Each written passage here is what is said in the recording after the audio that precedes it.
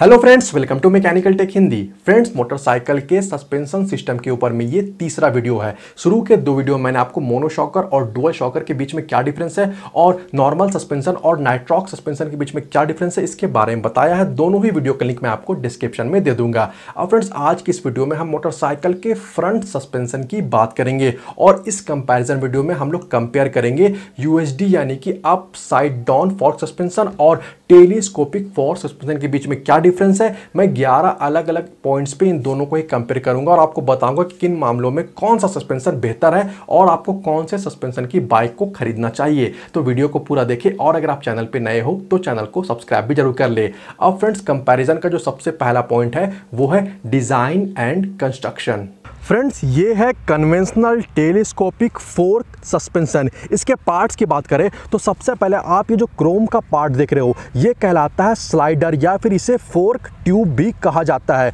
उसके बाद अब नीचे में एक और इसका इंपॉर्टेंट पार्ट देखोगे तो ये जो पूरा का पूरा पार्ट है, ये कहलाता है स्लाइडर बार या फिर इसे डैम्पिंग यूनिट भी कहा जाता है। और इस स्लाइडर बार के अंदर में आपको स्प्रिंग और जो फोर्क ऑयल है, वो देखने को मिल जाएगा। अब जो ऊपर में ये जो फोर्क का ट्यूब है, वो ट्रिपल क्लैम्प के साथ, आप देख सकते हो ट्रिपल क्लैम्प यहाँ पे दिया हुआ है। इस ट्रिपल क्लैम्प के साथ, इस हैंडल बार के साथ कनेक्टेड होता है ये फोर्क ट्यूब। वहीं दूसरी तरफ़ जो स्लाइडर बार है, वो इस जो हमारा व्हील का स्पिंडल है, उसके साथ कनेक्टेड होता है। तो ये कंस्ट्रक्शन होता है। अब अगर यूएसडी फोर्क सस्पेंशन के कंस्ट्रक्शन की बात करें तो इनका कंस्ट्रक्शन जो टेलीस्कोपिक है, उसके जस्ट उल्टा होता है। यूएसडी में आपको ऊपर में स्लाइडर बार देखने को मिलेगा और जो फोर्क ट्यूब है, वो नीचे में होता है। तो ये बेसिक डिफरेंस है इन दोनों ही टाइप के फोर्क सस्पेंसर के ऊपर में। अब जो अगला पॉइंट है, वो है वेट डिस्ट्रीब्यूशन तो मैं आपको बताऊँ कि जो टेलीस्कोपिक फोर्क सस्पेंशन होता है, वहाँ पे क्या होता है कि चूँकि जो स्लाइडर बार है, वो नीचे में होता है, इसलिए जो आगे आगे का चक्का होता है, जो आगे का व्हील होता है, उसके ऊपर में बहुत ही ज़्यादा लोड होता है। इस वजह से इस तरह का जो बाइक होता है, उसका जो फ्रंट का व्हील का मूवमेंट होता है और जो हैंडल का मूवमेंट होता है, वो थोड़ा सा स्टिफ हो जाता है, थोड़ा सा मुश्किल हो जाता है इनका मूवमेंट। वहीं दूसरी तरफ़ जो यूएसडी फोर्क होता है, वहाँ पर फ़ायदा ये होता है कि जो हेवी पार्ट है, जो स्लाइडर बार है, वो ऊपर में होता है हैंडल से अटैच होता है। इसलिए जो व्हील का मूवमेंट होता है, वो उतना स्टिफ नहीं होता है वो मूवमेंट आसान हो जाता है। अगला पॉइंट है परफॉर्मेंस तो अगर जो टेलीस्कोपिक फोर्स सस्पेंशन है, वो कम सीसी की, कम कैपेसिटी की बाइक में लगा हो, तब तो परफॉर्मेंस में किसी तरह का दिक्कत नहीं आता है हैंडलिंग स्टेबिलिटी सब बेहतर होता है. लेकिन अगर ज़्यादा सीसी की बाइक हो, उसे हाई स्पीड में चलाया जाए क्विकली जो टर्न चेंज किया जाए लेन वगैरह चेंज किया जाए, उस टाइम पे जो यू एच सस्पेंशन वाली बाइक है, उनका परफॉर्मेंस ज़्यादा बेहतर होता है, ज़्यादा स्टेबल होता है हैंडलिंग वगैरह ज़्यादा बेहतर होता है. इसलिए आज के टाइम पर आपको जितने भी स्पोर्ट्स बाइक देखने को मिलेंगे, उन सब में आपको U H D fork suspension ही आपको देखने को मिल जाएगा। अगला जो पॉइंट है वो है ऑयल सील लीक अगर कभी किसी वजह से ऑयल सील का लीकेज हो जाए तो यहाँ पे जो टेलीस्कोपिक फोक सस्पेंशन है वो ज़्यादा बेहतर है। बेहतर इसलिए है कि चूँकि जो हमारा U H D fork suspension है, वहाँ पे जो स्लाइडर बार है वो ऊपर में होता है तो ड्यू टू ग्रेविटी अगर ऑयल सील लीक हो जाए तो चांस है कि जो हमारा ब्रेक है, जो फ्रंट डिस्क ब्रेक है, जो वहाँ पे जो ऑयल है, जो फॉर्क ऑयल है, उसका स्प्रे हो सकता है, वो वहाँ पे जा सकता है और ये एक डेंजरस सिचुएशन हो जाता है। लेकिन टेलीस्कोपिक फोर्क सस्पेंशन में चूँकि जो स्लाइडर बार है वो नीचे होता है तो ब्रेक में जो हमारा फोर्क ऑयल है उसमें पहुँचने का चांसेस बहुत ही कम हो जाता है। ब्रेकिंग में किसी तरह का दिक्कत वहाँ पे नहीं आता है। अगला जो पॉइंट है, वो है सर्विस एंड मेंटेनेंस अब चूँकि जो टेलीस्कोपिक फोर्क सस्पेंशन है, वो एक कन्वेंशनल होता है, बहुत पहले से यूज़ होता आ रहा है और इसका डिज़ाइन कंस्ट्रक्शन बहुत ही सिंपल होता है। तो इनका सर्विस और मेंटेनेंस ये भी बहुत ही आसान और सिंपल होता है। लेकिन वहीं दूसरी तरफ़ जो हमारा यूएसडी है, उसमें जो इंटरनल पार्ट्स होते हैं, वो थोड़ा कॉम्प्लेक्स होते हैं। इन्हें डिसअसेंबल करना, दोबारा से असेंबल करना थोड़ा मुश्किल हो जाता है। जो एक्सपर्ट होते हैं, वो कर पाते हैं, लेकिन हर के बस की बात नहीं होता इनका सर्विस और मेंटेनेंस अच्छी तरह से कर पाना। अगला जो पॉइंट है, वो है स्टडीनेस यानी कि कौन कितना तगड़ा है।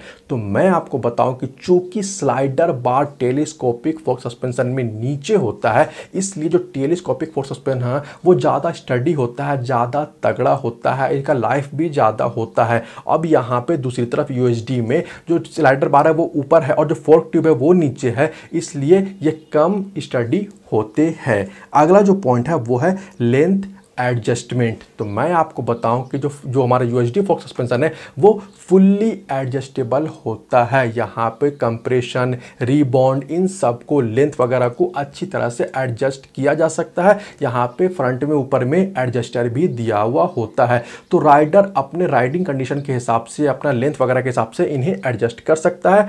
टेलीस्कोपिक को एडजस्ट करना ना तो एडवाइजेबल होता और मुश्किल भी होता है। तो यहाँ पे जो यू है, वो ज़्यादा बेहतर हो जाता है। अगला जो पॉइंट है वो है हेवी जर्क अब गड्ढे ज़्यादा हो या जो स्पीड ब्रेकर है वो ज़्यादा ऊँचा हो, इस हेवी जर्क को जो टेलीस्कोपिक फोर्क सस्पेंशन है, वो अच्छी तरह से एब्जॉर्ब कर लेता है और राइडर का जो एक्सपीरियंस है राइडिंग एक्सपीरियंस है, वो हेवी जर्क वाले सिचुएशन में बेहतर होता है टेलीस्कोपिक फोर्क सस्पेंशन वाली बाइक में। तो मैं आपको बताऊँ कि जहाँ पे गड्ढे वगैरह हो तो वहाँ पे इनका परफॉर्मेंस बेहतर होता है और नॉर्मल रहो तो वहाँ पे कंडीशन में हैंडलिंग बेहतर होने की वजह से यूएसडी का परफॉर्मेंस बेहतर हो जाता है। अगला जो पॉइंट है वो है डर्ट एंड ग्रीम अब मैं आपको बताऊँ कि देखिए होता क्या है कि अगर कभी वैसा जहाँ पे धूल गर्दा ज़्यादा हो या फिर वहाँ पे जहाँ पे हमारा कीचड़ वगैरह ज़्यादा हो तो फ्रंट व्हील से जितना भी कीचड़ वगैरह उछलता है तो यहाँ पे टेलीस्कोपिक सस्पेंशन बेहतर हो जाता है क्योंकि फोर्क ट्यूब ऊपर में होता है और इस वजह से जो गंदगी है वो स्लाइडर बार के अंदर में जाने का चांसेस कम हो जाता है। लेकिन यूएसडी में नीचे में फोर्क ट्यूब होता है तो वहाँ पे जो डर्ट वगैरह है, जो डेब्रिज वगैरह है, वहाँ पे जाने का चांसेस ज़्यादा होता है और जब सस्पेंशन होगा, स्लाइड करेगा तो चांस है कि स्लाइडर बार के अंदर में इन चीज़ों का जाने का चांसेस ज़्यादा हो जाता है। अगला पॉइंट है स्विच टू यू अब बहुत से लोग चाहते हैं कि वो अपने टेलीस्कोपिक फोर्क सस्पेंशन को निकाल के उसके जगह पे यू को लगा दे, क्योंकि एच जो फोर्क होता है, वो दिखने में थोड़ा अपीलिंग होता है लुक थोड़ा बेहतर हो जाता है। तो बिल्कुल ये पॉसिबल है, इन्हें लगाया तो जा सकता है, लेकिन उसके लिए बहुत ज़्यादा मॉडिफिकेशन करना पड़ेगा। आपको अपनी बाइक में बहुत ही खर्चा हो जाएगा, और ये बिल्कुल भी एडवाइजेबल नहीं है, क्योंकि यू लगाने से बहुत ज़्यादा फ़र्क तो नहीं पड़ने वाला है। तो मैं आपको बिल्कुल एडवाइस नहीं दूँगा, आप यू को नहीं लगाए। जो आपको गाड़ी के साथ सस्पेंसर मिला, आप उसे ही यूज़ करें। अगला जो पॉइंट है, वो है कॉस्ट अब चूँकि जो यू होता है, उसका इंटरनल पार्ट्स थोड़ा कॉम्प्लेक्स होता है, ज़्यादा पार्ट्स वगैरह भी होता है तो इसलिए यू एच सस्पेंसन का जो प्राइस है, जो कॉस्ट है, वो टेलीस्कोपिक के मुकाबले ज़्यादा महँगा होता है। और ये भी एक वजह है कि आपको जो महँगे स्पोर्ट्स बाइक वगैरह है, जो हाई सी के बाइक्स वगैरह है, वहाँ पर आपको जो यू है, वो देखने को मिलता और आपको हर एक जो प्राइस रेंज के बाइक में आपको टेलीस्कोपिक जो है, वो फोर्क सस्पेंशन देखने को मिल जाता है। अब फ्रेंड्स कंक्लूजन पे हम लोग आते हैं कि आपको इन दोनों में से कौन सा फॉर्क सस्पेंशन को चुनना चाहिए।